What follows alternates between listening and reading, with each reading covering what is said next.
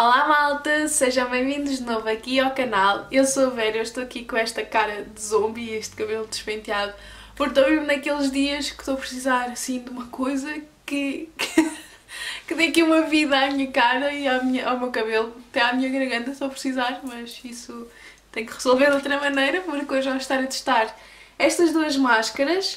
Vou começar por esta máscara daqui que é da Garnier Frutis, que é uma Wonder Mask e vamos lá ver como é que ela se comporta. Ela custa 2,99€, acho que há em todos os supermercados, não tenho a certeza, mas eu comprei no Continente.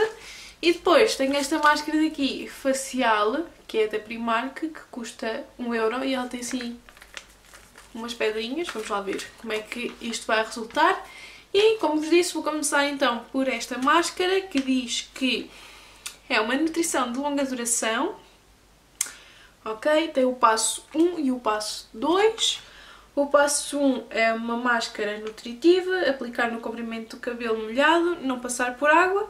E o passo 2, aplicar diretamente depois do passo 1 e passar por água. Portanto, é como se fossem duas máscaras, mas vou pôr uma por cima da outra. Portanto, malta, aqui atrás tem várias informações, mas o que nos interessa é que este produto aqui dá um resultado de cabelo brilhante, suave e disciplinado, com uma nutrição intensa que dure até 4 lavagens. Portanto, é isto que a gente vai ver. Estão aqui os passos e a primeira coisa que tenho que fazer, é óbvio, é lavar este cabelo com shampoo e depois aplicar o passo 1. Portanto, eu agora vou lavar o meu cabelo com o shampoo normal que eu tenho utilizado e já volto aqui para metermos a máscara. Malta, já lavei aqui o cabelo, só meti na toalha para não vir para aqui a pingar imenso a água e vou mostrar-vos o shampoo que eu utilizei, ele não diz que é nenhum específico, portanto eu utilizei este aqui. E vamos lá então ao segundo passo da máscara nutritiva, que é o primeiro passo, que diz que é então massagear suavemente, insistindo no comprimento e nas pontas. Ele não diz se tenho que colocar no, na raiz, não. Portanto, não sei, vou aqui abrir, na abertura fácil. Ok, deixa-me ver o cheiro. Cheira as coisas da, da Garnier da Frutis. Vou começar a aplicar aqui desde a orelha para baixo, porque ele não diz se é para aplicar na raiz, mas eu não vou aplicar. Porque normalmente o meu cabelo é oleoso, portanto não vou aplicar uma máscara da raiz. Acho que nem se deve fazer isso. Portanto, vamos lá. Acho que vou tentar tirar assim, mecha por mecha e ir aplicando. O produto é assim, parece um, uma máscara normal e vou começar então a aplicar. Vou tentar ir assim, mecha por mecha. Estou a fazer assim, estou a ir mecha por mecha e depois estou a juntar tudo aqui na parte da frente, que é para não perder nenhuma mecha, ficar nenhuma mecha de cabelo sem, sem produto, vou só fazendo assim, tipo vou passar o creme, vou passando os dedos pelo cabelo e depois quando acho que já toda a mecha tem produto, junto aqui a este lado. Isto assim, fazer esta fricção assim no cabelo também faz com que o produto, produto com que o produto entranhe mais no cabelo porque é como que aquece o produto e ele vai fazer mais ação no cabelo. Portanto, já apliquei por todo o cabelo e eu sinto que ainda há produto aqui dentro. Vocês podem ver que o meu cabelo não é enorme. Portanto, este daqui foi o que sobrou na embalagem e eu vou espalhar assim pelas minhas mãos e espalhar pelo cabelo todo. Já espalhei todo o produto então pelo meu cabelo do primeiro passo. Não há nada, já não há nada aqui deste lado. Portanto, vamos lá continuar aqui com, as nossas, com os nossos passos. Portanto, o passo que eu fiz era aplicar suavemente. O terceiro passo é não passar por água, portanto, não vamos passar por água. E passamos então ao segundo passo, que é este daqui. Isto é um bocado confuso, mas pronto. Que é então o cuidado selante e agora vou aplicar o cuidado selante sobre a máscara nutritiva diretamente no comprimento do cabelo. Portanto, eu acho que isto era para aplicar mesmo até cá em cima, mas pronto.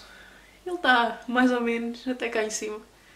Só não apliquei mesmo na raiz, raiz. Mas pronto, vamos lá aplicar então o segundo passo, fazer exatamente a mesma coisa e depois deixar atuar durante 3 minutos e depois sim passar por água. Portanto, vou abrir aqui. O produto é assim mais branquinho.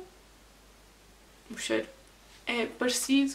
O produto é assim. Parece assim mais, mais pastoso. O outro era um bocadinho mais líquido. Isto parece tipo aquele creme da Nivea. Sim. Mas cheira muito bem. E vou fazer exatamente a mesma coisa que fiz no outro, que é passar mecha por mecha. Já apliquei então por todo o cabelo e vou fazer exatamente a mesma coisa que fiz no passo 1, que é tirar todo o produto que aqui ficou. Eu acho que neste sobrou muito mais produto. Há um bocadinho de produto lá dentro, mas isto foi o que eu consegui tirar agora porque já estou com as mãos todas sujas e vou fazer exatamente a mesma coisa que fiz no primeiro passo, que é meter o resto do produto no cabelo, porque não vale a pena ficar dentro da embalagem. Já apliquei então todo o produto que estava aqui dentro, já não há nada nem de um lado nem do outro. Portanto, vou esperar então os 3 minutos e enquanto os 3 minutos passam, vamos aplicar a máscara facial. Vou meter aqui o temporizador.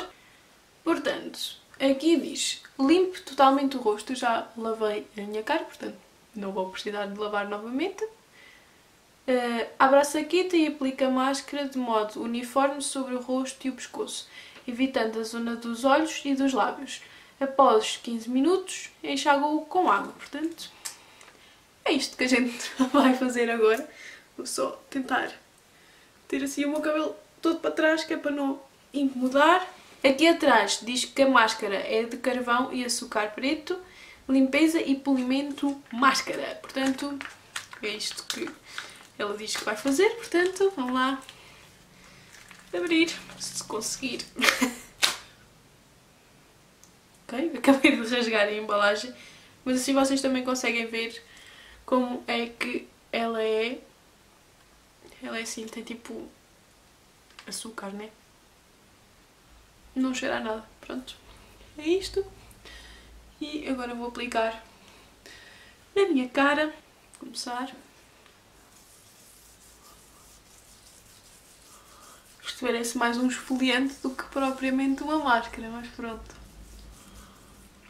E eu vou ficar toda vermelha porque já é normal eu ficar totalmente vermelha com, normalmente com estas máscaras assim. Não sei se vocês conseguem ver, mas isto parece mais açúcar, vá, digamos, o que eles dizem que isto tem, do que máscara em si.